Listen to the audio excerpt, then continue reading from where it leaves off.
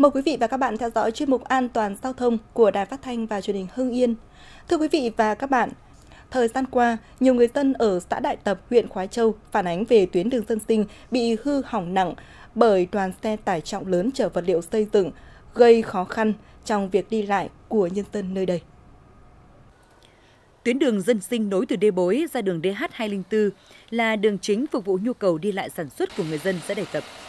Theo ghi nhận, Cả ngày lẫn đêm, trên đoạn đường dân sinh này có rất nhiều xe tải cỡ lớn đi ra từ các nhà máy sản xuất gạch, sau đó vận chuyển đi khắp nơi, khiến tuyến đường này bị xuống cấp, hư hỏng nghiêm trọng, tiềm ẩn nguy cơ mất an toàn giao thông và ảnh hưởng lớn đến môi trường sống của người dân. Trời nắng thì xe chạy qua, gây bụi mù mịt, trời mưa thì xuất hiện hàng trăm ổ gà, ổ voi, người tham gia giao thông đi lại nhiều lần bị ngã.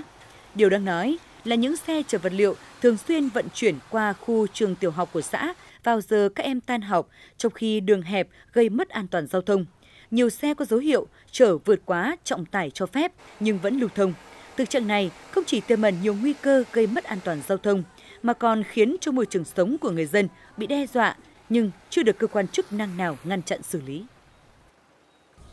diễn ra nhiều năm nay, nhưng tình trạng lấn chiếm hành lang an toàn giao thông vẫn là vấn đề nhức nhối chưa thể giải quyết dứt điểm. Nguyên nhân là do chế tài xử lý chưa đủ sức gian đe đối với các trường hợp vi phạm, cố tình vi phạm hoặc tái vi phạm nhiều lần. Trên mặt đường hai bên quốc lộ 39, khu vực thuộc địa bàn xã Tân Dân huyện Khói Châu đi Hà Nội, tình trạng liều lán, nhà xưởng, thậm chí có hộ đổ tường bê tông sắt mép đường để giữ chỗ với mục đích giữ đất làm dịch vụ. Nhiều liều lán bán hàng, nhà xưởng buôn bán vật liệu xây dựng, xưởng đồ gỗ đều được các hộ kinh doanh tập kết sát mép đường giao thông và đang có chiều hướng gia tăng.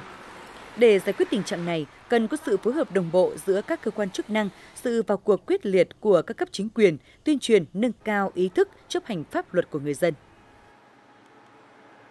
Hiện nay dù ở nhiều nơi vận tải thủy ngang sông mang lại nguồn thu lớn cho địa phương doanh nghiệp, nhưng ở một số bến phà, chất lượng dịch vụ vận tải thấp, lạc hậu, không đảm bảo an toàn cho các phương tiện và hành khách qua sông, nhất là mùa mưa bão.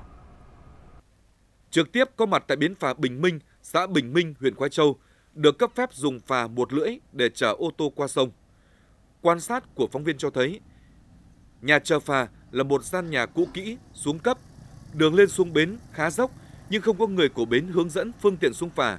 Phà chỉ được phép chở tối đa hai ô tô nhưng vẫn có tới 4 đến 7 xe tải, xe con trên phà và có hàng chục xe.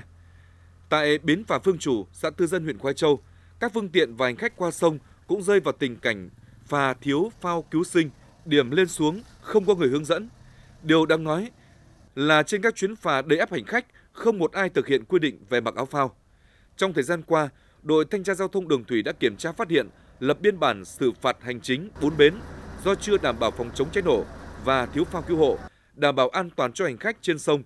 Thanh tra giao thông đã lập 43 biên bản kiểm tra xử phạt vi phạm hành chính đối với 3 phương tiện chở khách của 3 bến phà là bến Phù Sa, xã Hoàng Hanh, thành phố Hưng Yên, bến Hùng An, huyện Kim Động, bến Bình Minh, huyện quế Châu với các lỗi vi phạm là không đủ số lượng dụng cụ cứu sinh theo quy định, sắp xếp quá số lượng ô tô có tải trọng từ 3,5 tấn trở lên trên phà một lưỡi. Qua cái công tác ờ, kiểm tra thì cũng đã chấn chỉnh cái trật tự ờ, hoạt động vận tải khách ngang sông và qua đó thì cũng đã phát hiện và ờ, xử lý những cái trường hợp vi phạm. Thì những cái trường hợp vi phạm thì chủ yếu là liên quan đến trang thiết bị cứu sinh, cứu hỏa và cũng đã được thanh tra sở xử lý.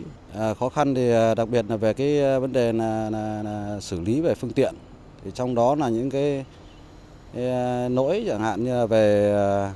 à, đình chỉ phương tiện thì thực sự ra thì lực lượng còn rất là mỏng.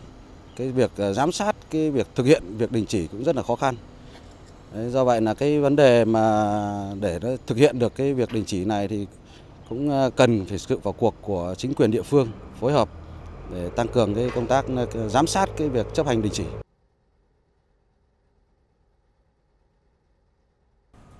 Quý vị và các bạn vừa theo dõi chuyên mục An toàn giao thông của Đài Phát thanh và Truyền hình Hưng Yên. Cảm ơn quý vị và các bạn đã dành thời gian theo dõi. Xin thân ái, chào tạm biệt.